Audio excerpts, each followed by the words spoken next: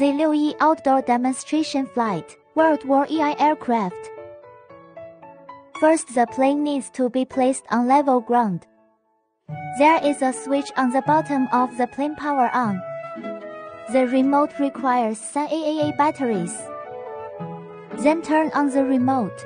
Push the joystick on the left up and then pull down. The frequency binding is successful. Interpreting the remote control. The stick on the left is the throttle speed. Push it up to increase the throttle.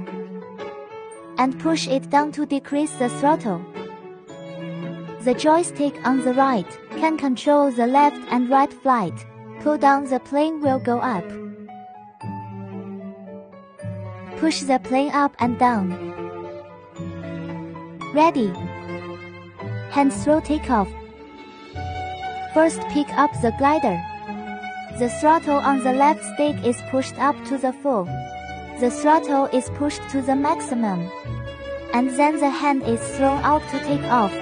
It's very simple, just like this you can take off. The remote control has two speed gears.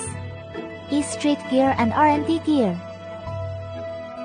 The default is E Street gear.